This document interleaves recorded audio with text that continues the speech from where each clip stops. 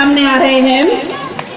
गणेश वंदना के साथ Nityam dance academy Nityam dance academy अगली प्रस्तुति लेकर आपके सामने आ रही है।